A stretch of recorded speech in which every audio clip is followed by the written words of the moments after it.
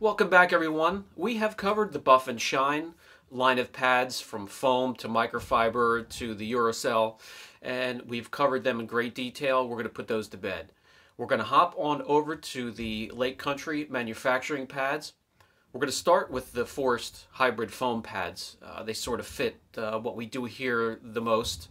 Uh, they are geared towards forced rotation, gear driven machines such as the Flex 3401, the rotary, which I love, and some other ones that are coming out. I know Rupes has one coming out if it's not already uh, a forced rotation. So I also noticed they, they, they are very effective on short throw polishers and little uh, 3 inch polishers such as the Flex XFE 80. So without further ado, let's take a look. The Lake Country force pads come with two main players, the orange cutting and the white polishing, but you can go beyond on each side. You can go the gray extreme cut, the black finish and wax and sealant application. The pad itself has a thick, dense structure. It's meant to keep the compound or the polish near the surface of the pad so it stays in between the pad and the surface of your vehicle. It's when it gets absorbed by many pads out there that you run into trouble. You can see here it's thick, it's about just under inch and a quarter. Great on rotaries. The obvious beveled edge serves a couple purposes. It gives it a very nice, controlled, smooth ride. It's firm. It also keeps the backing plate inside the pad itself. Important when you're working up against an edge or an emblem or a mirror or something like that, and you want to keep the plate from doing any kind of damage whatsoever. Its thickness also helps with that as well. We'll get into that a little bit later. Those who may be new to a rotary definitely want to team it up with this pad. There are some out there that may make it jump a bit, go out of control. Team it up with this one, you're going to have a nice, smooth, level, controlled ride. Keep the speed low, keep the pressure light, and it'll be very effective. If you do happen to apply pressure, which there's no reason to, you can see here it keeps the tool nice and upright and stable, but that's not necessary. If you think a dense foam structure raises temperature, well, we're going to debunk that a little bit in a future video. I'm going to put it up against uh, different pads with open cell, and we'll take the temperature of the panel with both pads. We'll take care of that in the future.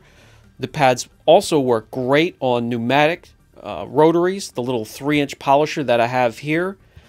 Uh, you team that up with this silver pad or the gray pad here, which has very coarse foam structures to it you're going to do some very quick, very effective cutting.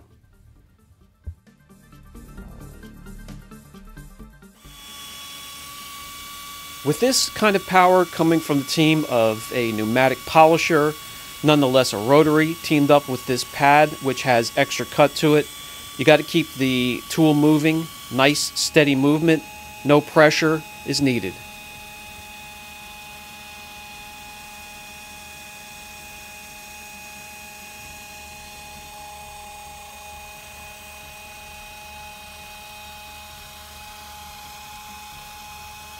Another benefit of the beveled edge, and we're going to put it on the Flex XFE80 here for this demonstration, is if you're going up against an edge like the mirror here, the bottom end or the surface of the pad is going to hit against the, the surface or the edge or whatever you're working up against first before anything else. It's going to keep that backing plate away and greatly reducing the chances of any kind of damage whatsoever and even a smaller percentage of the pad is going up against that edge, if that makes sense, because of the beveled edge.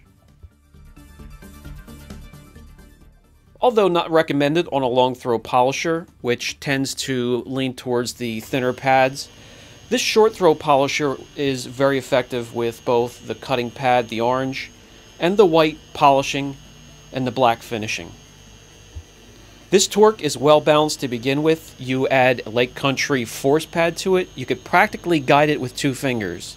Not recommended, by the way. Although this little polisher here is not forced rotation, you are able to take care of some medium to light blemishes or swirls by putting on the orange cutting pad.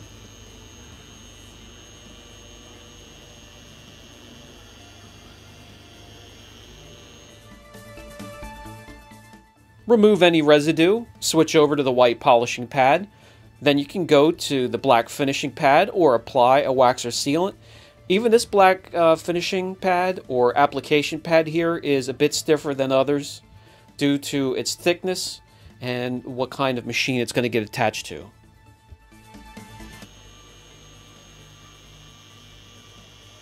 This step here, utilize the pad, finish to whatever clarity you're looking for, jewel it, whatever you want to do, then apply a wax or a sealant, and you're good to go.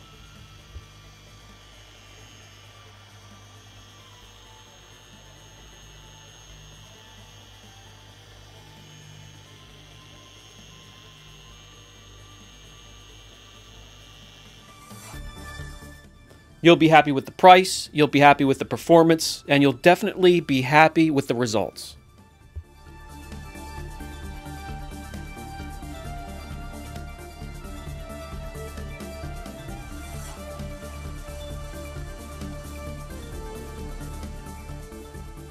Okay, I will put a link down below for the force pads.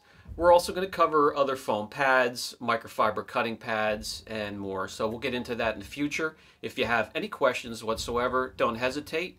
Brian from Apex Detail. I'll catch you in the next video.